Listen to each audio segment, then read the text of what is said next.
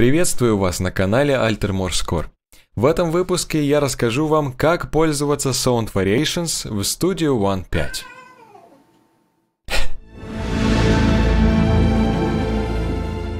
Sound Variations появилась в версии Studio One 5.2 и была реализована для того, чтобы вам было удобнее менять артикуляции ваших инструментов из библиотек, которые вы используете в сэмплере Contact. В первую очередь это нововведение актуально и интересно для композиторов, которые работают с оркестровыми библиотеками, где у каждой библиотеки каждого отдельного производителя тем или иным способом реализованы инструменты и их артикуляции. Способ переключения артикуляции в самом сэмплере всегда одинаковый и чаще всего осуществляется с помощью крайних клавиш на вашей MIDI-клавиатуре. В нашем же случае нам необходимо быстро переключаться между существующими артикуляциями, чтобы в процессе работы мы не тратили время на поиски тех самых клавиш, которые их меняют. И даже если вы знаете эти клавиши, то когда будете работать с разными библиотеками и десятками MIDI-треков, э, то можете банально запутаться. Sound Variations решает эту проблему и позволяет нам быстро и удобно менять артикуляции ровно в том месте, где нам это нужно. Для тех, кто не понимает, что такое артикуляции, поясню. Это способ исполнения последовательного ряда звуков, иными словами, техника игры на инструменте. Так как же пользоваться Sound Variations? После того, как вы загрузили ваши инструменты и библиотеки, выбираете необходимый вам трек, к которому подключен инструмент из сэмплера, с которым вы собрались работать. Для начала нажмите на кнопку Edit на нижней панели. Появится область редактирования, и здесь в левой панели вы увидите иконку гаечного ключика, который открывает рабочее окно Sound Variations. В этом окне нам и предстоит создать необходимые вариации для нашего инструмента. Это не придется делать каждый раз. Вы просто один раз создаете все необходимые вам вариации для конкретного инструмента и сохраняете их в отдельном файле вариаций для этого инструмента. И в следующий раз, когда откроете проект и будете использовать тот же инструмент, вы просто открываете файл этих самых вариаций, которые вы создали ранее, и пользуетесь. Когда мы открыли окно Sound Variations, в верхней части окна выбираем Disable Case Switches. Это нужно для того, чтобы когда вы пропишете клавиши изменения артикуляций, они не конфликтовали с родными установленными клавишами. То есть таким образом вы исключаете изменение артикуляций другим способом в данных условиях использования инструмента. Далее, у нас тут есть несколько кнопок. New Variation создает вариацию, для которой вы пишете название, соответствующее названию конкретной артикуляции и саму ноту-клавишу, которая ее определяет. Тут же можно задать условия для отдельных ее параметров.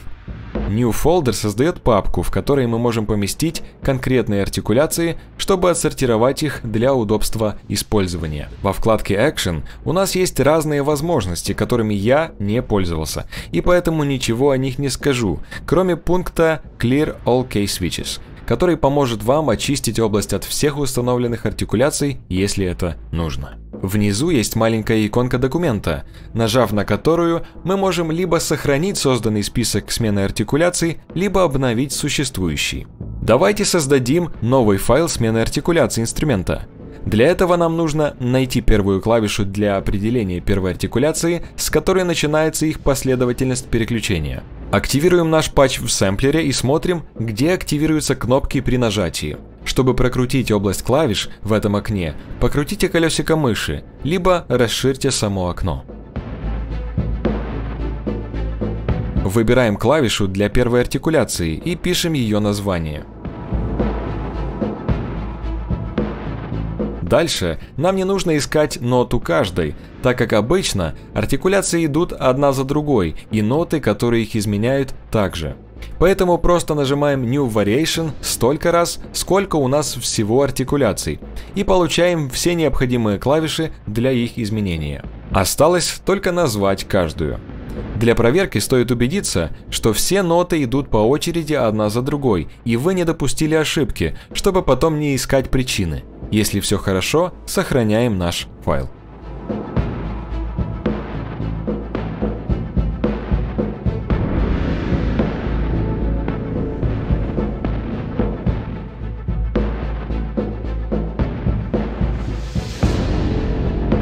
С некоторыми библиотеками не все так очевидно и просто.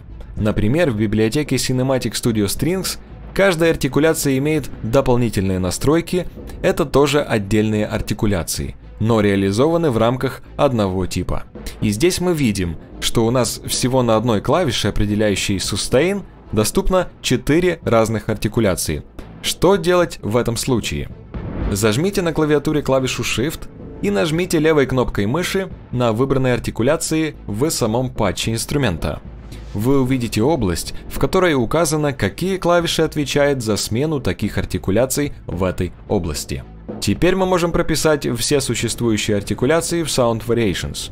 И как вы могли заметить, в области, где нужно вводить клавишу ноту их изменения, есть дополнительные переменные, где C-1 отвечает за sustain, A-sharp минус 1 отвечает за условие легата, и B минус 1, 2 точки 1 отвечает за исключение техники консердина в данной артикуляции. Я думаю, принцип вам понятен. Попробуйте сделать это сами, и вы обязательно разберетесь. А если нет, то комментарии под видео всегда открыты, пишите. Таким образом, для этого инструмента нам придется создать целый список артикуляций, чтобы была возможность реализовать их все по необходимости. Для сменной артикуляции коротких нот советую прежде отключить автоматизацию под колесо модуляции для их смены.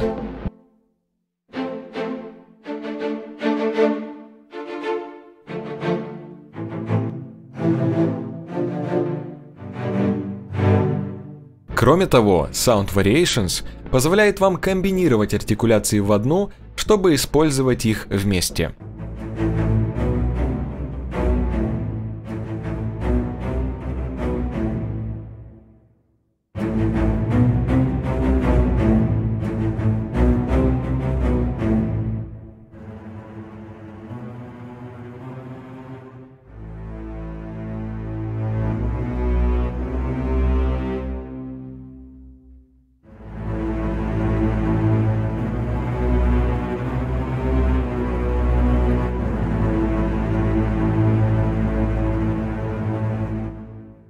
Для того, чтобы это реализовать, в области, где выбирается нота определения артикуляции, дописываем ноту еще одной артикуляции, которую хотим добавить к первой.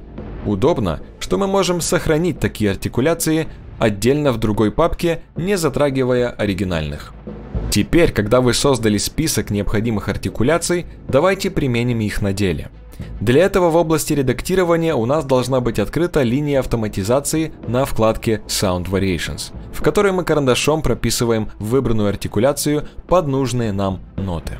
Если вы пишете ноты вживую и не квантизируете их, следите за тем, чтобы линия артикуляции успевала задействовать ее в момент проигрывания ноты.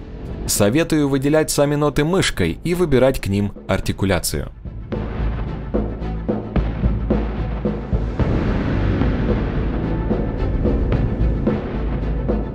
Я написал небольшую струнную партию. Давайте послушаем, что мы можем получить в итоге, используя разные артикуляции и как интересно это звучит.